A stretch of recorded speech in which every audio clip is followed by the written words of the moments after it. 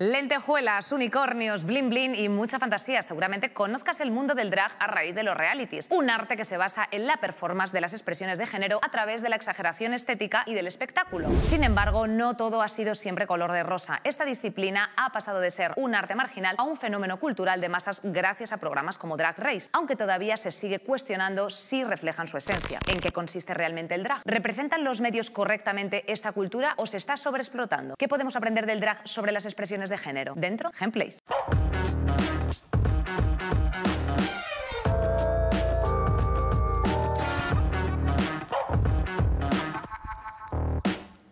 Buenísimas tardes, queridas, queridos. ¿Cómo estáis? Muchas gracias por acompañarnos. Pues un día más. Eh, Darío, ¿qué te digo yo? No al drag, sí al drug. Al contrario, anda, no al drug y sí al drag. Eso es lo que queríamos decir. ¿Cómo estás? Muy bien, muy bien. Oye, ¿tú controlas de estas cosas? ¿Tienes algún nombre drag? Eh, no, yo tengo un, un compañero, amigo, hermano, Cheto, em, conocido por esta casa, ¿Sí? que es eh, el mayor experto que conozco sobre el mundo drag y me cuenta siempre todo, pues, bueno, todo lo que está ocurriendo y toda la actualidad. La contemporaneidad del drag. Efectivamente, No, efectivamente. no es- no es baladí, desde luego. No, Yo sí que he tenido que ponerme un nombre, que es sindicalista. Muy bien, eh, muy bien. Y dicho lo cual, A pues... mí me habían puesto aquí en guion. No, Ah, Esto no es invención mía, ¿eh? esto es gente de... Estos Son compañeros. Darius compañero. Medaleche. Darius Eh, Medaleche es gracioso. sí, está El ahí. verga larga, cosas así. Qué rica verga. Claro. Qué rica verga está. Qué rica verga. Su preferido. Eh, bueno, eh, para mí uno de mis programas favoritos, la verdad, eh, el, el drag es política y de eso vamos a hablar en el día de hoy. El drag es un arte que consiste en la performance de las expresiones de género Es un discurso político que cuestiona los roles de género. a través de la exageración de la estética y los roles con fines de entretenimiento. Hago shows, me encanta abrirme de piernas haciendo un buen split y un buen dip. A pesar de que esta disciplina existe desde hace siglos, el salto al mainstream de la mano de programas como Drag Race Shantae, you stay. ha hecho que el drag pase de ser un arte marginal Hace unos años no se podía ser drag.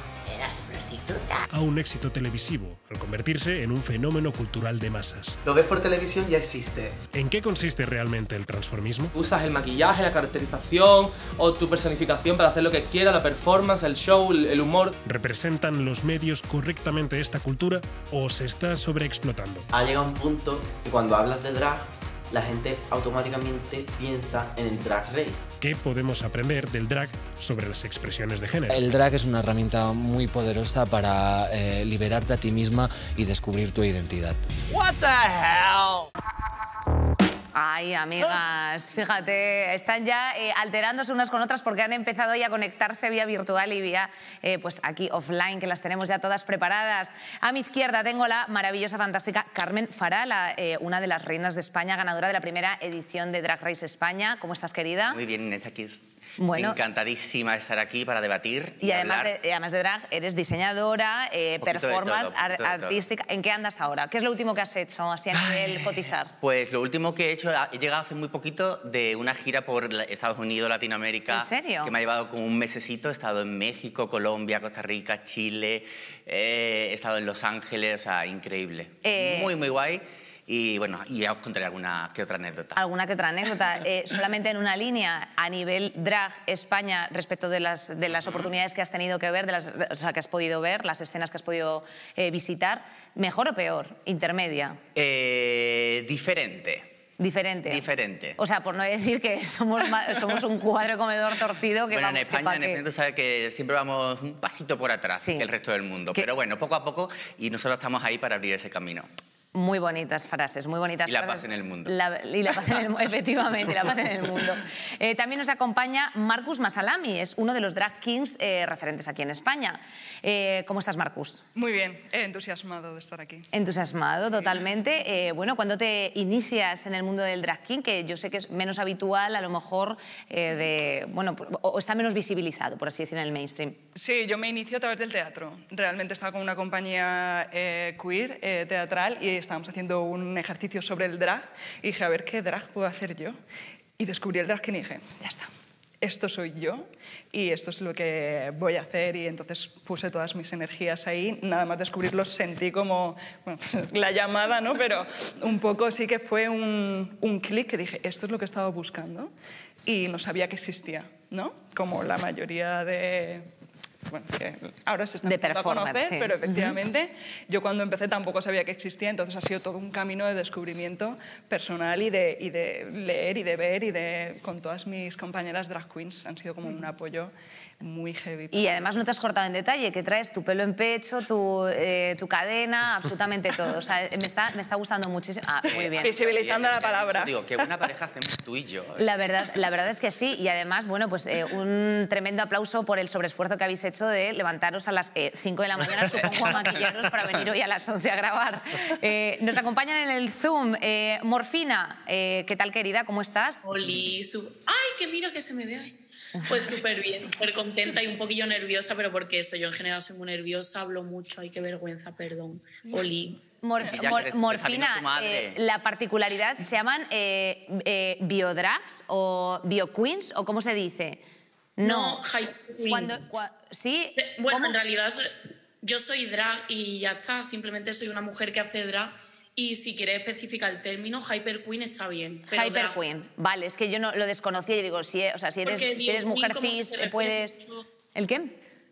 porque BioQueen como que se refiere mucho al género y hay muchas mujeres que hacen drag y intentamos no distinguir entre mujeres trans o mujeres cis, simplemente pues somos mujeres que hacen drag y como que estamos todas unidas en esto. Y BioQueen como se refiere al género, pues mejor Hyper Queen, ¿sabes? Perfecto. Que significa pues, mujer que hace drag. Drag y ya está, está bien. Hyper Queen, eh, anotamos. Es que, hija, también estamos aquí para aprender, no vamos aquí a darnos las de que sabemos cuando no es así. Ugacio Crujiente también nos acompaña en el Zoom. Eh, estética pop o vanguardista, Ugacio, ¿cómo estás? Muy bien, muy bien. Aquí en mi, en mi casita, bien cómoda, la verdad. Bien cómoda y además recién desfilada. Eh, vas eh, espe- especial, la verdad, te lo tengo que decir. Thank you, muchas gracias. ¿no? La verdad que ha sido un fin de intensito en, en la Fashion Week. He desfilado un par de veces y, y, oye, una experiencia. Lo de caminar no se me da tan mal, la verdad, no me puedo quejar. Bueno, está muy bien, efectivamente. Eh, es, es lo que va, eh, o sea, es el paso previo a echarse a correr, eso está claro. Sí, Eh, sí, todavía no he llegado. Todavía Ahí. no hemos llegado, pero bueno, eh, qué bien que, sea, que, que se abran paso y que se abran camino estas disciplinas, ¿verdad? En, en otras disciplinas artísticas, como puede ser el mundo de la moda. O sea que al final, eh, bueno, referencias interdisciplinares nos encantan. Genesi, buenísima artista, mejor persona. y bueno, las tamburiñas de Avilés. ¿Cómo estás, Genesi, querida? Bueno, bien, ¿no? Como se puede estar. Eh, Bueno, ¿por qué? Bueno, que luego te tienes que ir a trabajar o qué, Genesi. Sí, hay que trabajar, si no, ¿quién va a levantar este país? Eso digo yo. Carmen. Ah, Carmen. Con estos brazos. Ay, hombre, Exacto. es que claro. Eh, a ver, no sé si alguien eh, se anima a describir un poquito qué es el drag, eh, así como primera pregunta. Venga, Jenny, sí que es el drag para ti, hija. Buf, el drag para mí es la disciplina que permite hacer todas esas cosas que, todas esas inquietudes que, que me gustan y como juntarlo todo y englobarlo y mm, eso. Y- Ya sabes que yo no soy eh, de, de hablar, que yo sé pocas palabras y luego encima si las tengo que interrelacionar. no. Mira, esta es nueva, interrelacionar. Esa es Oye, esa pues, es buena. Pues, pues bueno, qué bien que haya venido, que te haya azotado ahí desde el Sí. subconsciente esa palabra. Eh, mm, como estamos aquí para aprender un poco todos, yo creo que es interesante aterrizar un primer concepto de eh, qué diferencia hay entre el travesti y el drag. No sé si alguien se puede animar también a contestarnos. Yo creo que es una cuestión de términos, ¿no? Yo creo Que, que- que no están como eh, del todo aprobados, ¿no? ¿Verdad? Por toda la comunidad. Realmente eh, ahí está el, el término drag, que es anglosajón, que viene de Shakespeare. eh, que significa, eh, bueno, mi inglés es horrible, pero dress as a girl, ¿no? Ok. Que era porque no se permitía a las mujeres eh, hacer teatro, básicamente. Entonces, eh, los hombres que se travestían para hacer los personajes femeninos eh, se llamaban drag. Wow, Viene vale. como de ahí Shakespeare, el, el que acuñó esa palabra. Y luego, eh, aquí en, para tener un término más eh, Castizo, español, castizo. más castizo, eh, se utilizan dos. Está el transformista, el transformismo sería más teatral, más llevado al espectáculo. Y luego la palabra travesti, Travesti. viene más bien de, de la apropiación del insulto. Vale, o sea que es, que es despectivo. Sí, es un Sí, poco... O sea- antes, eh, claro, entonces eso ha sido como la apropiación y es como un poco, por eso se utilizan todas, ¿no? Yo me considero travesti.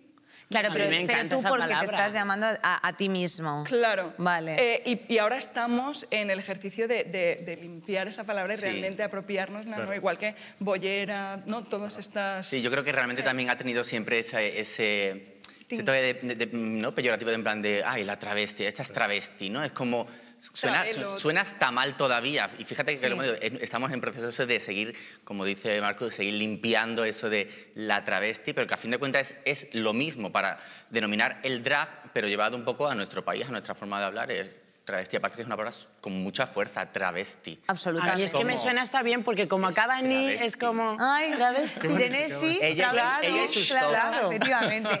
Eh, Em, eh, sí. eh, había comentado ya Marcus el origen eh, con el teatro clásico y demás, pero ¿cuándo empieza a surgir, se lo voy a preguntar a, a Ugaz en este caso, ¿cuándo empieza a surgir em, con este carácter subversivo, con este carácter de desafiar un poco lo, que, lo establecido?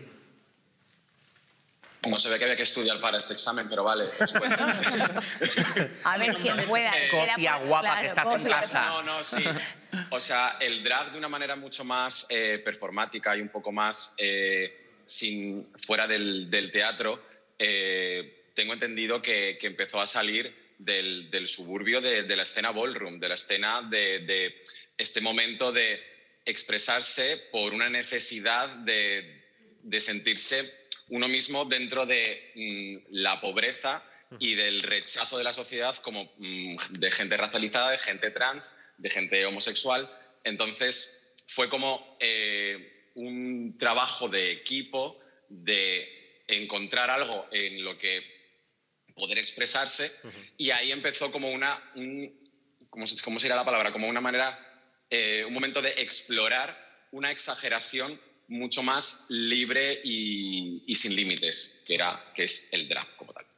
Efectivamente, en ese sentido, ¿cómo empezasteis y por qué vosotras a hacer drag, Carmen? Pues yo creo que en general, yo creo que todo el mundo empezamos un poco de forma casual o de forma... eh, ¿no? Em- Empiezas un Te día... ¿no? caíste en la paleta de maquillaje. real. Sí. Es como te caíste, uy, eh, quedo guapa, no, no, pero es como, yo creo que todo empezamos como jugando un poco con ese miedo, ¿no? De, de no lo voy a hacer fuera, empiezo en casa, eh, cojo la sombra de mamá y me la pruebo y, dije, "Ay", y fantaseas con, mm, no sé, actuar delante del espejo. Es como algo como que empiezas en oculto, como digo, porque desde pequeño nos inculcan quizás que eso no está bien o que no es para nosotros. Y hasta que un día te das cuenta, pues, cuando ya ves referentes o ves de pronto, pues, en televisión, ¿no? que a fin de cuentas es como la ventana al mundo, eh, ves a alguien y dices, jolín, es que a mí me gustaría hacer eso. Entonces ya es como que das el paso a, a hacerlo. Entonces yo ya digo, yo empecé realmente, pues eso, en casa, jugando con el maquillaje, eh, porque a mí siempre me ha apasionado el maquillaje, entonces como jugando, probando, hasta que un día ya te animas en un carnaval, te animas en un Halloween, y ya de pronto un día, un martes cualquiera es bueno para, para hacer drag. Entonces ahí ya pierdes el miedo y te das cuenta de que, de que esto empodera y que está bien para cualquier día de- del año. Morfina, eh, se han hablado de los referentes. eh, ¿Cuáles son los tuyos? Mi referente, drag. Pues bueno, yo, aunque me veas así muy de rosita, muy tal, eh, yo en verdad soy. Mm, Me gusta mucho el rollo dark y un rollo siniestro.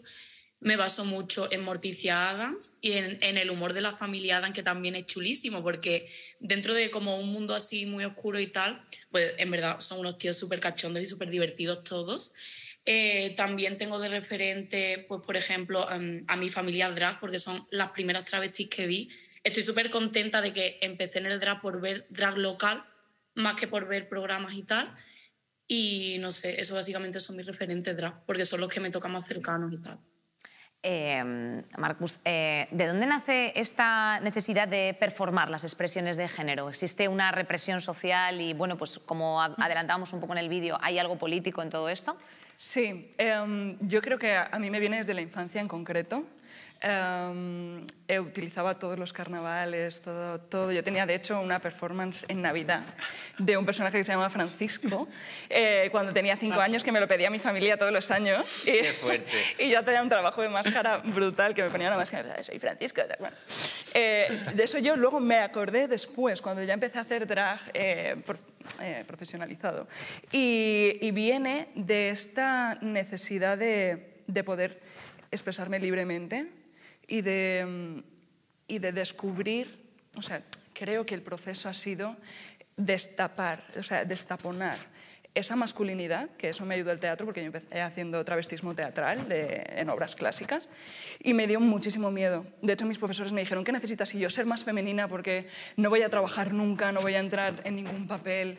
Y me dijeron, vas a hacer del hombre de, de tal, ¿no? Entonces, como que, que me dieron ese personaje y lo cogí con muchísimo miedo, pero a la vez fue como liberador. Dije, vale, y entonces encontré mi feminidad también ahí. Entonces, porque entendí que todo era performable y que yo no cuadraba en ninguno de los dos espectros o, o De la expresión de de la género, expresión sí. de género y que podía y que estaba bien y que estaba bien ser eh, Permeable o ser- sí, sí. ser cambiable y dependiendo de, de la situación dependiendo del tal eh, poder sentirme más femenina o más masculina no entonces eh, básicamente viene de esa necesidad desde la infancia. Yo ahora pienso en mi infancia y digo wow si yo hubiera sabido que existía el drag king no lo que has dicho de cuando ves un referente en la tele Eso, yo- eso- yo creo que eso es súper necesario, porque, importante. como te digo, eso, eso te, como tú dices, ¿no? es lo que te empuja a salir y decir, jolín, hay más gente como yo que, que le gusta hacer esto y, y que digo que no es nada malo. Que es liberador, te colectiviza, porque luego después también hay mucho apoyo dentro de mm, una red Y sobre drag. todo, y sobre todo es, como, como dice Marcus, te, te ayuda a entender quién eres y cómo eres, porque lo que te digo, es verdad que yo, por ejemplo, mi drag es un drag muy femenino y cuando estoy en drag me siento muy femenina, pero luego me encanta el poder salir del personaje y disfrutar de mi masculinidad. ¿sabes? O sea, de- yo, yo, por ejemplo, en mi, en mi día a día, yo soy un chico gay, mm, eh, podríamos decir, normativo. O sea, yo pues no, no soy muy queer o no... ¿Sabes? Suelo ir vestido bastante random, ¿no? Entonces, me gusta el poder, pues eso, el, gracias a Carmen, que explota toda mi feminidad, después de chico puedo disfrutar de mi masculinidad. No tóxica. No tóxica. no queremos masculinidades Que- tóxicas. Yo quería preguntarte, em, ¿cómo es en el, en el día a día, en lo cotidiano? Eh, ¿Cuáles son las- los primeros referentes que ves, los- las primeras muestras que en tu día a día dices, oye, mm, esto mola? Mira, yo las primeras que vi eh, las vi en, en Ibiza porque yo en, en verano viví allí con mi familia porque trabajaban allí la temporada y, y mis padres descansaban los miércoles, ¿no? que era el día que se celebraba la Troya, que es como la fiesta de las, de las drags de allí, y yo, claro, era súper pequeña. Entonces salían ahí por la noche por el puerto y yo me acojonaba. Yo me iba así al cuello de mi madre, me La ponía purga. así, me daban un miedo que flipas, claro. Porque no son como... Hoy día seguimos dando miedo, ¿eh? también ¿Eh? te digo. Sí, hay alguna que todavía hay mete veces que miedo. los taxis no te paran, no te Sí, cogen. o sea, exacto. que se- seguimos dando miedo. Ahora vamos con eso. Ahora, Eh, ahora que me con gustaría hablar, sí, con, estigmas la- que con los estigmas. Y- Pero luego ya al acercarme ya fue eh, un día que en, en YouTube vi mm, RuPaul y eso que no sé qué hacía en YouTube porque claro, eso tendrá derechos, pero yo lo vi en YouTube y yo dije, wow, qué divertido. Y entonces ahí ya... Eh, ¿Y tu entorno cómo reaccionó cuando empezaste a performar?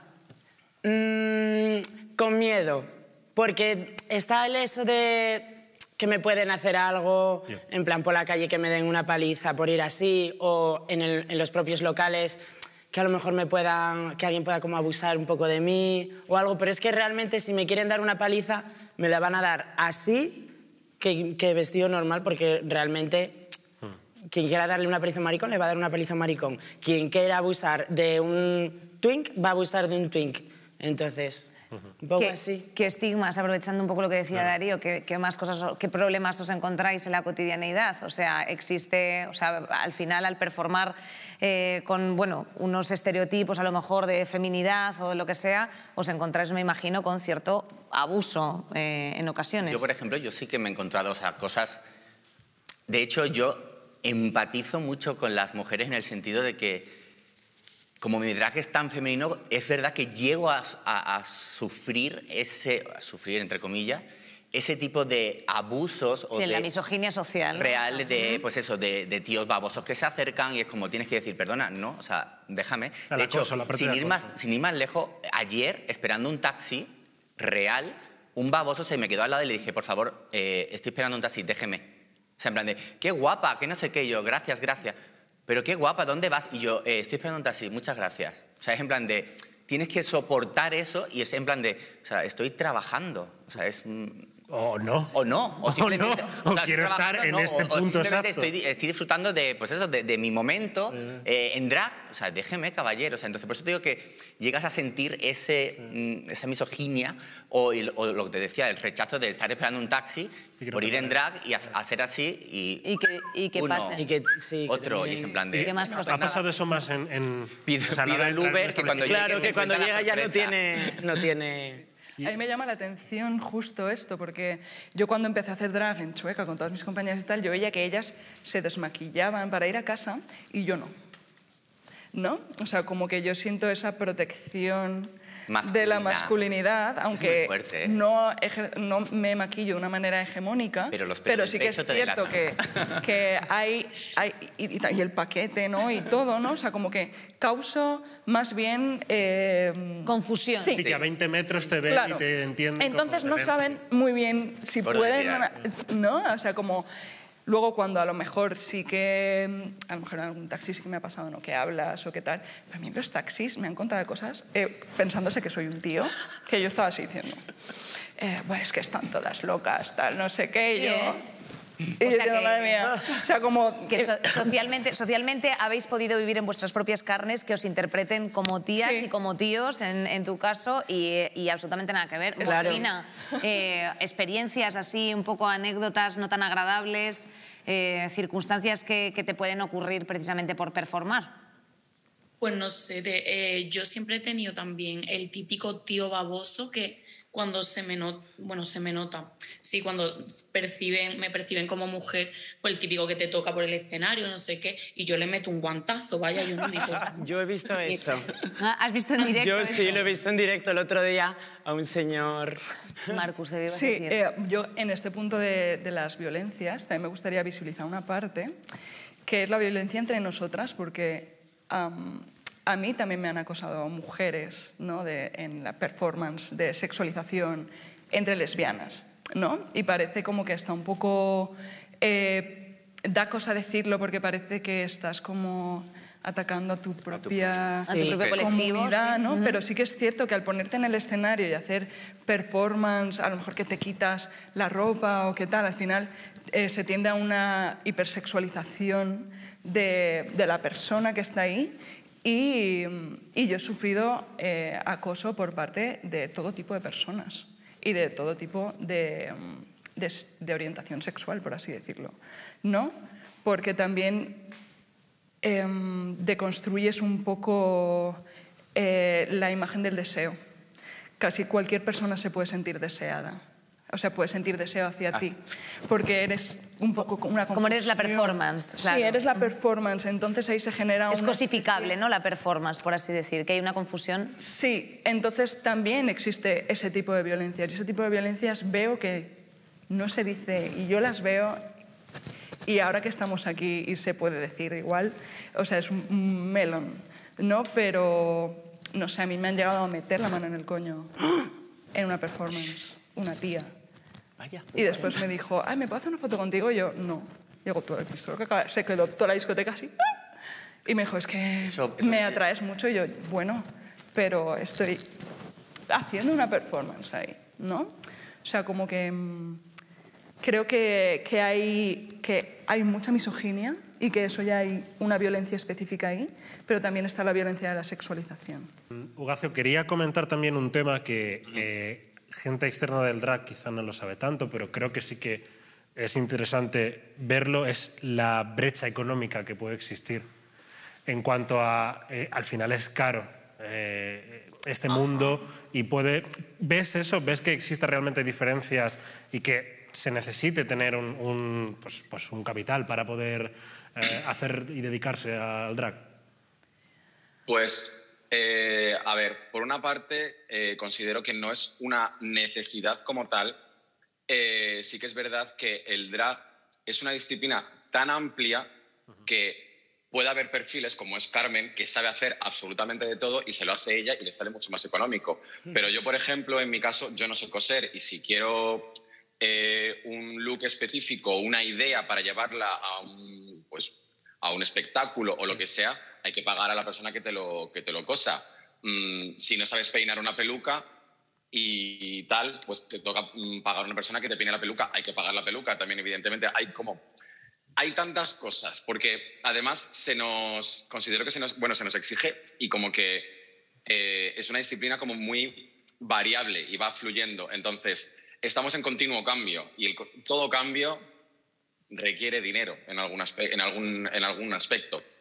Entonces, sí, se nota mucho. Hay muchas, eh, o sea, claramente puede haber perfiles que los puedas ver muy bien vestidos eh, o muy, como todo muy hecho a medida, tal, y luego en otros aspectos no, no aporte. Pero es que yo creo que el drag ha evolucionado con el medio digital, ha evolucionado de una manera que para mí considero igual de válido una drag, un drag que performa meramente para Instagram, por ejemplo, o para TikTok o la red social, en plan de para hacerse fotos, como para lo que es el directo del escenario. O sea, hay, hay mucha discusión, hay mucho... Mm, considero que hay como mucho estigma con, con que tengamos que ser buenas en escenario, tengamos que ser graciosas, tengamos que entretener en directo y considero que hoy en día ha evolucionado tanto que yo en mi caso lo llevo a lo visual. Yo no, mi, mi, drag no depende de lo que digo, sino de lo que enseño y de lo que hago.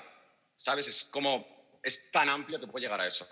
O sea que eh, hay muchas, muchas capas. Dentro de esto, eh, ¿hay hombres heterosexuales dentro del drag?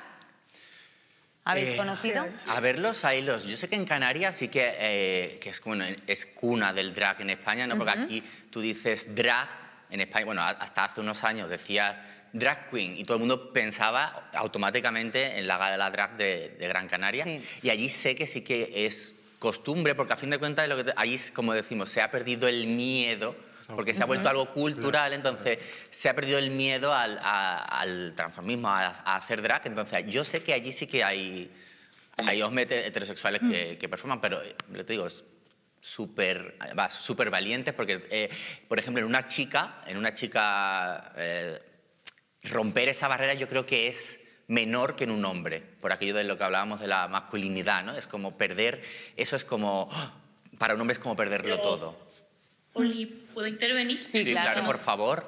Es que no sé, como estoy en un digo, no sé cuándo puedo, Sí, cuándo sí, sí, no, ¿no? sí, yo te veo Tú todo el habla. rato. Está Tú con guapísima. que me levantes la mano me vale también, ¿eh? Realmente, bueno, yo pienso que, que ser un hombre así en general como concepto es un privilegio, ya sea si quieres hacer drag o si no, y ser una mujer y hacer drag, mm, créeme que también rompe muchas barreras, que también estamos muy discriminadas y tenemos continuamente, yo por lo menos, y conozco a muchas compañeras que tienen una continua sensación de insuficiencia, ¿sabes? De que nunca es bastante, de que tienes que llevar como el mejor pelucón, el maquillaje más exagerado, eh, págate un pedazo de traje, ahorra, quítate de lo que sea, pero tienes que llevar un lucazo, unos taconazos y un todo. O en el caso del drag king, pues llevarte lo extremo eh, a la masculinidad.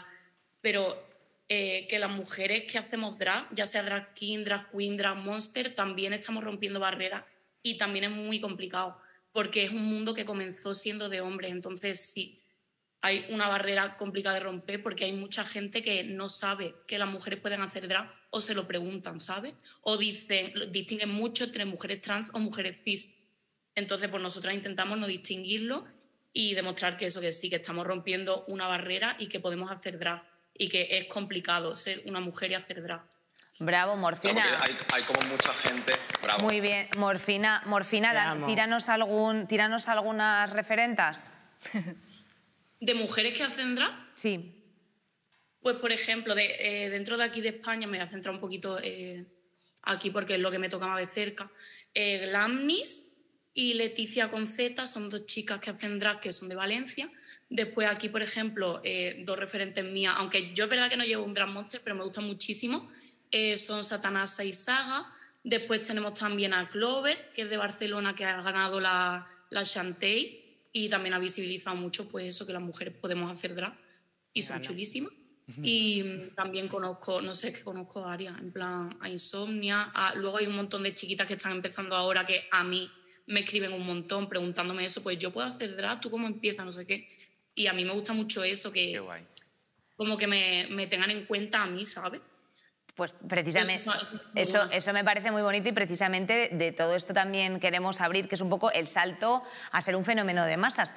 Eh, ¿Cuándo ocurre todo esto? ¿Cuándo pasa el drag a ser algo mainstream? O sea, un poco también en vuestra experiencia de las personas, pues yo que sé, que hayan sido vuestras madres drags, que os hayan contado lo previo, todo el camino, todo el proceso.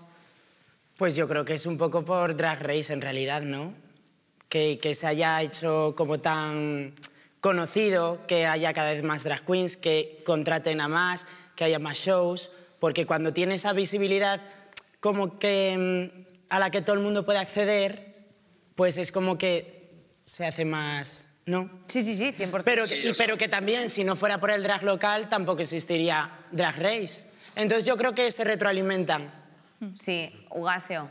Sí, es como una retro- retroalimentación que a partir de que se genera un, programa de entretenimiento con drags, eso genera más público y el público genera una demanda y de repente pues a lo mejor los promotores de, de las discotecas o de los locales buscan es más espectáculo drag, de repente que un local busque más drag, de repente dice, ah, pues yo mm, no lo había pensado de hacer nunca porque no me llama demasiado la atención, pero ahora que lo está haciendo y veo que hay más oportunidades laborales, pues voy a meterme a ello y lo intento. Entonces, hay muchísimos factores que, mm, de haber entrado en el mundo mainstream que, que ha facilitado de que eh, sea un trabajo y no un extra eh, más allá de tu trabajo diario. Total. Aunque es- en España sigue siendo muy, muy complicado. Muy difícil. Muy, muy, muy lo está subrayando todo el rato, Carmen. Después de haber, de haber salido del, del programa y que se nos vea como eh, famosas y que nos de gira y todo, eh, no, es, no es fácil ni, ni el público está tan acostumbrado como puede estar en otros países como Reino Unido o Estados Unidos. Eh, Carmen, eh, pues aprovechemos para hablar de un poco de tu gira entonces en ese sentido. ¿Qué, cosas tenemos que implantar aquí en España para que se dé el reconocimiento a esta disciplina como se merece? Pues yo creo que todo es tiempo y yo creo que como decimos aquí en España esto es algo relativamente nuevo, que es curioso porque vi que incluso la- lo que hablaba antes de la gala drag de Gran, de Gran Canaria que tiene aquí muchísima fama, la primera fue en 1998 que tampoco hace tantísimo. Sí, o la Supreme O o, sea, Kika, que llevan yo que sé cuánto como- tiempo, claro. Claro, entonces como para nosotros es como algo relativamente nuevo y esto fuera sí es cultura.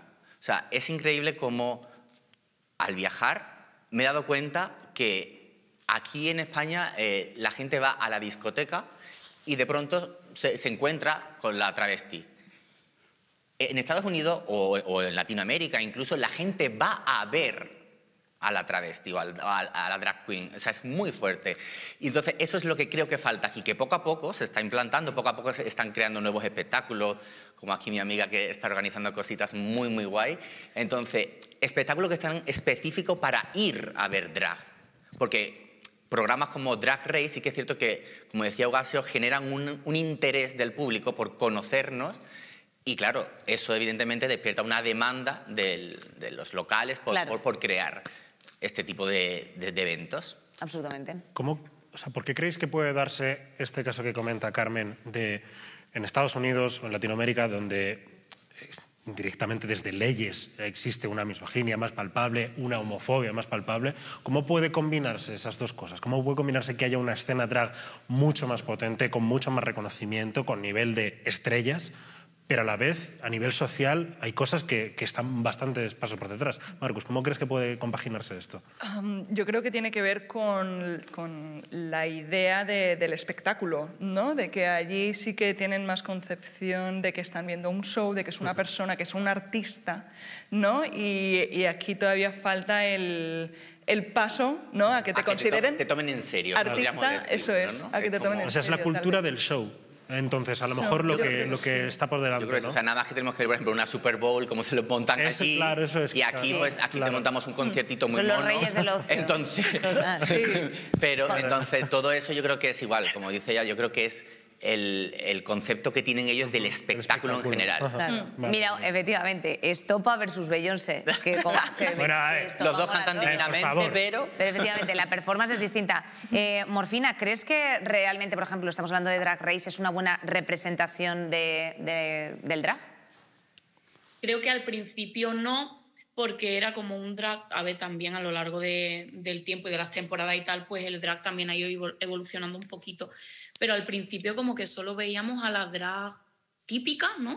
En plan, pues a un chico performando la feminidad, por así decirlo, pero yo, eh, estamos hablando de Drag Race, ¿no? Te hablo. Claro, sí, sí, sí, sí.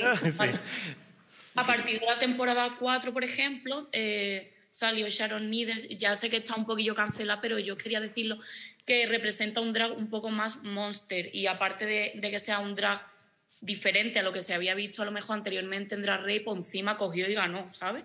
Entonces, pues eso también fue, para mí fue como un poquillo un antes y un después en la historia de Drag Race porque ya se veía que podía ir una drag un poquito diferente, ya como han sido después Ivy o Victoria Scone o un montón de, de travestis diferentes.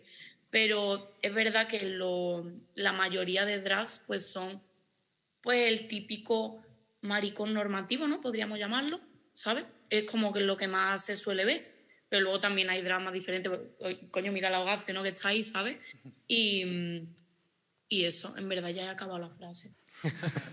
Yo creo, perdonad que acuño un poquito esto que ha dicho, yo creo que el lado de Drag Race tiene su lado positivo, que es toda esa visibilidad que da a lo que es el colectivo drag, pero también yo creo que en parte hace un flaco favor en el sentido de que estereo- no estereotipa, pero es como que eh, lo que lo decía justo Marca la antes tendencia. es como parece Genera- que, necesi- parece que necesitas ser, saber cantar, saber bailar, saber actuar, ser graciosa, ser divertida, eh, ser eh, mm, mm, eh, perfecta. Entonces, como igual a lo mejor no necesitas ser perfecta para tener un gran talento.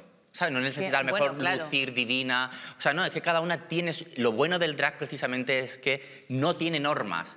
Y Drag Race como que normativiza lo que es ser una Claro, drag queen. pero eso es un Como- poco en España, porque sí que es verdad que en En España... general, yo creo que en general, porque- Pero yo en España he echado en falta, por ejemplo, perfiles de cuerpos men- mm, mm, no normativos, eh, personas racializadas, o sea, sí que es cierto Bueno, hemos que... tenido ahí representaciones como Inti, que ha, ha sido como las chicas racializadas de nuestra temporada. Este año eh, teníamos... Claro, pero es la chica racializada de, de la... te- Ya, que, por sí, sí, ejemplo, sí, es, es verdad que en como- Estados Unidos sí que veo que hay una tendencia que es más... También yo creo que la población eh, Sí, de Estados. Unidos racializada es muchísimo mayor que Ya, aquí. ya. Entonces...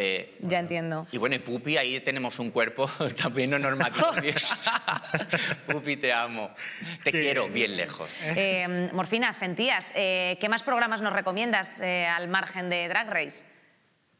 Pues, por ejemplo, eh, Drácula es un programa alternativo que se centra como mucho en el Drag Monster. A mí mm, me parece bastante interesante. Después, bueno, no sé, yo ya voy a aprovechar y te lo, te Hombre, voy a contar. claro. Era por eso la pregunta. Claro. Qué modesta es. El programa de Ana Rosa. No, no se me había olvidado porque este jueves tenemos capítulo nuevo. Eh, yo estoy participando en un programa que se llama Regias del Drag España, ¿vale? Es un programa que empezó en México, en Latinoamérica, pero ahora pues han cogido, se lo han llevado a España y somos ocho participantes y es chulísimo. Consiste en que te dan una categoría por capítulo, ¿vale? Y entonces pues tú coges, eh, haces un show, eh, vas con un look, tu peluca y todo acorde al show y ya pues se votan pues la- las mejores, las peores y tal, pues muy en tipo concurso drag. Y, y eso, y la particularidad muy guay que tiene es que a pesar de que te expulsen, a diferencia de en otros programas, tú no te vas a tu casa. Tú coges y ese día, aunque te hayan expulsado, muestras tu show y muestras tu propuesta. Es decir, que tu look y tu, la música que tú te has inventado y todo lo que tú tenías en tu cabeza por mostrar no se queda en vano, sino que es un esfuerzo que, que se va a ver ahí. Y eso es muy guay. Ya no sigues compitiendo por el premio, ¿vale? Que es un viaje a México, a la Bricon, pero como que sigues mostrando. Y bueno, yo, yo ahí sigo, ¿vale? En plan, Eh. soy semifinalista, ya veremos a ver, a ver qué Ay, pasa, ¿no? Morfina, ojalá ganes, hija, pero bueno, qué bien. Qué democratizado, No sé. que, no, que puedas sacar tu tema y todo, me parece guay. Bueno, sí, nos, la verdad que no nos- soy la única mujer de allí, pero eso. nos lo, No sé. nos lo apuntamos entonces. Eugacio, como también nos vamos a despedir ya de vosotros, cariño, yo no sé si hay algún mensaje que queráis dar al mundo desde el drag. Desde el drag, eh, pues a ver, eh, yo me gustaría decir, mm, me has pillado en, en bragas, literal, eh, em, que, que apoyemos lo que, lo que hay. Eh, está muy bien el, todo el típico mensaje de apoyar el drag local, eh, pero es, para mí es una cuestión cultural en la que eh, hay que llevar el drag a la cultura. Entonces, eh, es un poco la misión que, que- que tengo yo. Entonces, quiero llevarlo al, a la luz solar, afuera de, de- de cuatro paredes. Entonces, desde aquí, que, disfrutemos de, el, este arte que es tan bonito y tan, y tan libre, que esa libertad a ti también te aporta y te da más libertad aún. Jo, qué bonito, Gas. Me he liado mazo, pero bueno. algo Qué así. barbaridad. Me Te hemos no me entendido. Eso, eso, y con la pared tan estética que tienes, eh, que desde luego no te... fa- O sea, es que vas además a juego de la pared, pues es que espectacular. Oye, queridos, eh, Es que pues... mi casa también es, far- forma parte de mi drag, es que es- está así de amplio. de- No, no, la- absolutamente. Mor- Morfina, una línea desde el drag para despedirnos de ti también, querida. Ay, que no me lo esperaba. Pues bueno, Cari, yo simplemente mi mensaje es ese, el que llevo visibilizando desde que empecé. Las mujeres podemos hacer drag. Es lo más empoderante que he hecho en mi vida, porque eso, pues dentro de un mundo de hombres, pues aparezco yo y digo, yo también estoy aquí y me vas a ver. Y nada, pues eso, que os quiero mucho, no sé. Ay, qué bonito, Morfina, hija, de verdad. Pues nada, Ugacio, Morfina, queridas, muchísimas gracias por haber participado en la tarde de hoy. Y nada, eh, nos, vemos, Adiós. nos, nos vemos por los Chao, teatros, por los chiquis. esto, y bueno, por donde sea. Ojalá en la gala de Nochevieja de Televisión Española. Por También favor. Mira, Se nos yo de momento voy a Ideas. voy a aprovechar. A ver. Eh, efectivamente, no, no, tened el móvil con cobertura, ¿eh? que se vienen cosas. ¡Hala! Un besito, queridos, que estéis muy bien. Chao, hasta luego. Chao, chao. Chao. Adiós. Chao. Vamos a dar la bienvenida, por favor, a nuestra Juventud del Papo, por favor. Además, dos personitas que han hecho su trabajo de fin de grado acerca del drag, o sea que me parece bastante curioso. Él es Jesús Montanero, estudiante de máster en periodismo multimedia. ¿Qué tal, Jesús? ¿Cómo estás? Hola, buenas. Oye, buen gusto, ¿eh? Miley siempre en nuestros corazones y en nuestro pecho, desde luego, claro que sí. Eh, también nos acompaña Marta Rodríguez, eh, técnico audiovisual, editora y también diseñadora gráfica. Marta, ¿cómo estás, querida? Hola, buena. Pues muy bien, muy bien. Hija Aquí, mía, con tantos títulos eh, tendrás mucho trabajo. Pues no te creas, no, ahora mismo estoy parada, la verdad. Esa frase era la que yo quería oír, hombre, es que claro, esto es así siempre. Oye, voy a empezar contigo, Marta. ¿Cuál es tu relación con el drag? Bueno, pues yo en verdad mm, llevo consumiendo drag unos 3, 4 años y realmente empecé con RuPaul. Luego ya es verdad que sí que me puse a interesarme mucho más por la escena nacional, o sea, bueno, sobre todo aquí en Madrid, porque es donde yo vivo y que es donde más drag hay sí, en, España. Pero vamos, yo empecé con RuPaul y de la noche a la mañana me encantó todo el mundo drag, básicamente. Yo empecé a ver un capítulo y ya desde ahí no dejé de verlo hasta hoy día, que sigo todas las temporadas de todo y ahora pues ya también veo espectáculos, a muchos shows, muchas performances aquí por Madrid que, que se puede aprovechar mucho. Eh, Jesús, ¿cuál, misma pregunta, ¿cuál es tu relación con el mundo del drag?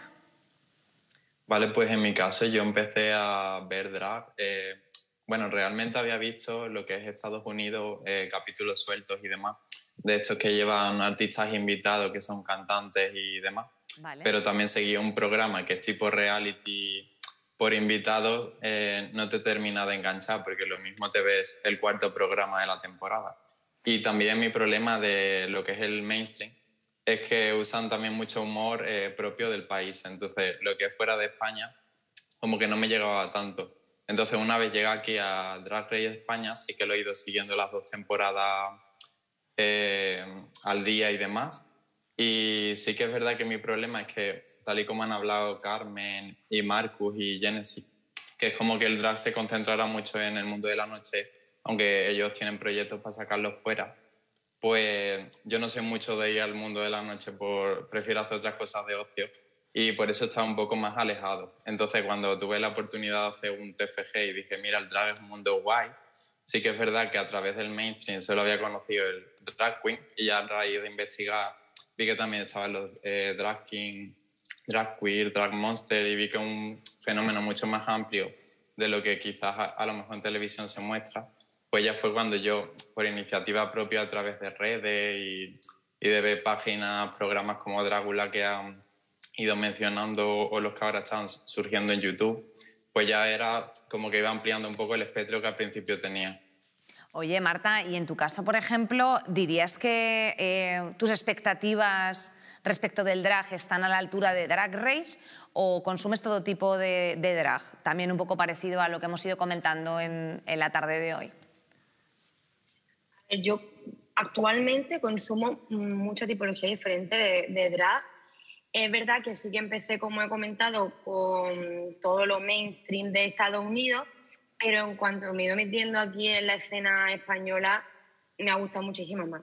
Me parece que tiene muchas, no sé, muchas variantes, más folclórico, también te habla en algunas ocasiones, no siempre, bastante de la cultura española y como que, no sé, también supongo que el haber crecido en España me hace entenderlo todo mucho mejor, eh, el humor, la música que se usa o las disciplinas y vamos, la verdad es que gracias a RuPaul lo descubrí, pero me he quedado prácticamente por, por la escena nacional que soy muy, muy, muy fan. Eh, Marta, una cosa, y por ejemplo, en tu entorno, eh, o sea, tus padres, eh, yo qué sé, pues mm, gente así como un poco más senior, eh, ¿qué, qué, impacto les eh, causa el drag? ¿Consumen, no consumen? ¿Les da igual? Pues en mi familia no, no consumían ninguno prácticamente. Ahora, claro, desde que hice el TFG, como eh, me he puesto ahí a, a distribuirlo y a pasárselo a todo el mundo, pues claro, ya como que me relacionan a mí mucho con, con ese tema. En el ámbito amistades y demás, sí que es verdad que, sobre todo aquí en Madrid, porque yo soy de Almería, pero aunque vivo aquí en Madrid, sobre todo en Madrid sí que tengo muchos amigos que les interesa, que nos vemos todos juntos en las temporadas de Drag Race, que vamos a ver shows y demás, menos de lo que me gustaría, pero desde luego sí. Y en el ámbito familiar es verdad que no tenía ni idea, pero he recibido una acogida buenísima con el tema del TFG, toda mi familia y la gente alrededor, incluso amigos de mis padres y demás, han empezado a interesar muchísimo, me han dado las gracias por haberle descubierto, por así decirlo, ese mundo, por haberle dado un poco de visibilidad y bueno, pues se ha dado a conocer y ha tenido muy buena acogida, la verdad. Jesús, eh, en tu caso, eh, ¿has reflexionado, y además aprovechando que ambos habéis hecho el TFG acerca de, de, bueno, pues del drag, del mundo drag, eh, ¿has reflexionado sobre las expresiones de género gracias a bueno, pues esta disciplina, este arte? Sí, o sea, eh, básicamente ese era mi punto de partida. O sea, empecé a ver como que era un arte que eh, jugaba un poco con los estereotipos de género. Entonces ya era la base pues, eh, con la que partía. Y a raíz de entrar en contacto con las diferentes personas que entrevisté, que también son una comunidad muy abierta, que te acogen eh, con todo su encanto y, y están encantados y encantadas y encantadas, porque hay también muchas personas no binarias el- dentro del colectivo que eh, tienen ganas como de ser escuchados. Yo también creo que es porque a raíz de los medios de comunicación, quizá ahora mismo que están en el fenómeno mainstream, no tienen la imagen tan manchada como quizá antes que se jugaba más con temas más sensacionalistas. Y tienen como esa, yo vi esa necesidad de ser escuchados y contar sus diferentes historias, también un poco eh, eso creo que lo mencionó Ugacio, de sacar lo que es el drag de las cuatro paredes y sacarlo fuera, que yo creo que es lo guay. Entonces sí veo, yo desde un primer momento eh, consideraba que esa iba a ser mi reflexión, porque yo lo que hice fue un reportaje multimedia, multimedia perdón, y, y a raíz de los, de los diferentes testimonios que fui reuniendo, eh, la tesis que fui sacando, a- eh, gracias a todas las personas que quisieron participar, cediéndome un poco de su tiempo. Eh, en una línea, Jesús, que has aprendido del mundo drag. Pues tal y como han expresado eh, los diferentes invitados, eh, que es un arte que te libera, eh, ya no solo de género, sino no, también a la hora de hacer cualquier cosa que no puedes hacer en tu día a día a través de ese alter ego que tú creas. Marta, eh, ¿qué te ha aportado a ti el mundo drag también en, una línea antes de despedirnos de vosotros? Pues yo en mi documental me quedé con una frase que dijo Uma Fuman, que es una de mis drag queens favoritas de Madrid, que dijo que al fin y al cabo el drag es muy necesario y hay que respetarlo y disfrutarlo porque hace feliz al que lo hace y también al que lo ve. Y eso es fundamental, porque es verdad que no solamente libera y eh, es una manera de expresión de todos los artistas que lo practican, sino también de la gente que vamos a verlo. Es un espectáculo más que nos aporta pues, mucho entretenimiento, mucha felicidad y sobre todo a la hora de que la gente reflexione sobre diferentes colectivos y demás, pues fundamental que conozca la, la terminología. Pues muy bonito, Marta, Jesús hijos, de verdad. Que bien habláis, cariños. Oye, que paséis muy buena tarde. Muchísimas gracias por haberos prestado y haber estado aquí un ratinchi. Pues nos quedamos con eso, queridos. Os mando un besito muy grande eh, y nada, que estéis muy bien. ¡Hala! Adiós. Eh, pues nada, para ir cerrando un poquito la mesa, eh, como nosotros siempre hacemos aquí, unas pequeñas reflexiones, alguna reivindicación, algún apunte que se nos haya quedado por decir. Pues, Pues empiezas tú. Pues a- empiezas- no, no, ¿Yo? arrancamos. No, no, Venga, con la sí. Carmen. ¿O Venga, quieres venga, sí, que tú eres muy espontánea, venga, No, venga, porque por... No, venga, Yenesi, que luego después me dices que te quitan el resto, la- las declaraciones. Empieza tú. Venga, ¿qué te cuento? Pues coño, una, Ah, mira, sí. de preguntar. Eh, es que tengo déficit de atención, ¿vale? Se habrá notado que me quedo a veces No, un poco como así, en stand-by, pero es porque se me Pero va. no pasa nada, te, que, te ayudamos. Un poco, eh, volviendo al tema de antes, que quería decir una cosa, que es que luego eh, muchas mujeres eh, nos dicen que, que si esto es misógino, que si eh, hacemos burla de, de- de ellas, que si nos apropiamos, que si eh, tenemos más privilegios. Yo, para empezar, cuando salgo a la calle, yo tengo que ir siempre acompañada de alguien, si voy en drag, porque paso muchísimo miedo. El otro día recorrí como 100 metros sola, del metro a un 100 montaditos, y es que iba con, con miedo, con miedo de verdad. O sea, que ¿cuál es el privilegio de ahí? Y luego, además, eh, esto que yo llevo, porque, porque es mm, propiedad de nadie. ¿No? A ver, a lo mejor este tema ya está como muy... Pero Bueno, bueno, pero- pero- pero bueno, cuando se nos sigue echando en cara Sí. estas cosas, pues como que hay que seguir... Ya, ya, entiendo, entiendo perfectamente lo que quieres decir. O sea, que Sí. quieres subrayar que, bueno, pues dentro de todo esto Que también... no tenemos ningún privilegio, al revés, y además lo, lo mal pagadas que estamos. Eso es así. Es así. Working class heroes, working class heroes. Y una frase que yo la tenía pensada para Vale. la otra vez que vine, que es, a lo mejor esto es un poco cambio tal, pero yo creo que, que entra bien. Eh, el que es intolerante a la lactosa, eh, ¿quién tiene el problema? ¿El intolerante a la lactosa o la leche? El intolerante a la lactosa. Entonces, mm, nosotros somos la leche, nosotros no tenemos ningún problema. Anda. Entonces, el intolerante es el que tiene el problema, que vaya a donde tenga que ir y que se lo mire. Ya está. Y- El titular ah, de vale. somos la leche. Somos la leche. Somos la, Wow, somos la leche. tenemos titular. Y tened cuidado con la lactosa. Mucho cuidado. Yo, por Exacto. ejemplo, si me tomo un café con leche sin lactosa, me cago. Claro, pues Pero al instante es una cosa que cada uno se revise qué qué es su lactosa, efectivamente, Sí. su lactosa particular. Eh, Marcus. Bueno, ah, yo voy a recoger un poquito la pelota, ¿vale? Y mm, apuntando todo lo de la misoginia, que sí que es una cosa que yo creo que, que vivimos y que hay en todas las partes del mundo y en todos los ámbitos, em, el drag no es misógino. Hay personas misóginas. Exacto. Que Como las en hay, todos. las hay, claro. claro. que sí. Entonces, como que hay que desvincular un poco lo que es este arte eh, multidisciplinar que nos cuesta tanto, que somos personas artistas, de que pues, eh, la misoginia existe, no, no podemos como... em, asegurarnos de que no haya gente misógina dentro de, de nuestras filas, ¿no? Igual que Por hay desgracia. racistas. Claro, hay, hay, hay- hay, eh, Claro, pero igual que hay un un mundo de misógino que Claro, legisla, hay un misógino claro. que es doctor, Claro. un misógino sí. Eh, lesbofobia, eh, plumofobia, ¿no? O sea, como que hay, están, hay un montón de, de opresiones ahí eh, que convergen y que tampoco son nuestra responsabilidad personal. Yo creo que se nos responsabiliza personalmente, ¿no? De que haya pues, gente, eh, ¿no? Claro, quizá porque como somos el foco, como quien dice, ¿no? ¿Sabes? Claro. Somos Como pones la imagen- cara, claro. La imagen Sí. visible, pues, pone, pues claro, pones la cara, te, da, pues, te dan la- las hostias te caen a ti. Efectivamente. Y yo creo que eso, que hay que separar y hay que liberar el cuerpo de todas estas normas, ¿no? Y ponerlas fuera y decir qué es lo masculino y qué es lo femenino.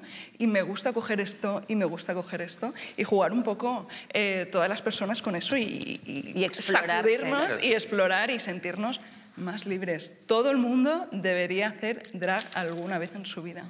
Amén. Fuera de carnaval, Exacto. fuera de carnaval. Carmen. Pues un poco, pues... Es lo que se ha dicho, es que- es que la chica. última posición es No, pero no te pasa nada, yo, yo te voy a contar otra cosa de pronto. Me salen las papas alioli buenísimas. no, Ella De- es solo de una salsa, no de tres. No, eh, en general, pues eso, lo que, lo que comentaban aquí eh, las compi. En general, eso, yo creo que tenemos que romper ese miedo, esa barrera que hay, esos estigmas que hay eh, con respecto al drag, para que todo aquel que nos ve eh, se acerque, nos conozca y también de pronto se le, se le despierte esa curiosidad de hacerlo. Porque como, como decíamos, yo creo, como, creo que es lo que todo el mundo que ha hecho alguna vez drag en la vida puede decir y afirmar es que el drag empodera. O sea, el, drag te permite hacer cosas que mm, out drag serías incapaz de hacer. O sea que, no sé, yo creo que mi mensaje también es ese, es acércate, pruébalo y repetirás. Exacto, y si no le gusta, pues no le devolvemos Claro, el dinero porque también tenemos que comer. O sea, váyanse ustedes a otra parte. No, tenemos- no somos el corte inglés, lo Eh, efectivamente, queridas, esto es así. Darío, Yo recojo con una cosa que, pues, que, están- que se estaba diciendo aquí, que es un poco eh, la libertad y abrir un poco las ventanas, que no huela tanto a cerrado, eh, el poder escuchar eh, lo diferente, el poder ver lo diferente, el poder entender que, que no es un pensamiento único, porque al final es muy aburrido eso. Entonces, eh, disfrutar con algo que, que le hace feliz a alguien eh, y abrazarlo y entenderlo y poder hablar y debatir sobre ello, pues yo creo que es precioso y es, es lo bonito de ser humanos, porque si no seríamos máquinas. Y todavía no, porque en 2040 ya habrá un imperio de las máquinas Habla y dejaremos de ser humanos. Pues ya he visto un poco cositas de androide por aquí a mi derecha, pero bueno, no lo quería decir. Eh, pero es eso, un poquito de, de ser humanos y humanas, ¿no? que al final eh, se queda muy bien y a Chenoa le sale perfecto, así que... Seres humanos, exacto, queridas. Pues nada, muchísimas gracias por habernos acompañado una tarde más. Efectivamente, recogemos con todo lo que nos han dicho. La ropa no tiene género, como dice nuestro queridísimo estilista Raúl Rodríguez también. Eh, la ropa no tiene género y efectivamente explorarse es positivo. Siempre te vas a encontrar morralla en todas partes, querida. Pero bueno, hija, yo te invito a que te des una vuelta, que te vayas ahí a tu, a tu sala maravillas, a tu así un poquito eh, eh, el, el dark y drag, que te metas ahí, que te eches una risa y que, y que seas disfrutona porque al final efectivamente es performático y es performático fuera de lo pues hegemónico, de lo establecido, de lo de hace mucho tiempo. Entonces, bueno, pues que circule y, y nada. Que hay mucho hueco para todas al final, a fin de cuentas. Síguenos en todas nuestras redes sociales. Esa era la música que yo quería. Sí, ni, ni, ni. Eh, síguenos en nuestras ¿eh? redes sociales, hija, que tenemos un poco de todo. Y el hacemos correo, el correo. Y esto, mira, El este correo. clip, ¿tú no crees que es el correo El correo. handplace.rtv.es? Eso es. Sí, tú eres muy travesti, ¿eh? Te voy Ya a lo decir. sé, Que tú hombre. eres muy drag. ¿eh? Hija mía, pero dos años llevamos intentando hacer esto. es Es que vamos, menos mal que se me lo dicen a ella, porque vamos, está- o sea, los cuatro kilos de extensiones que llevo. Música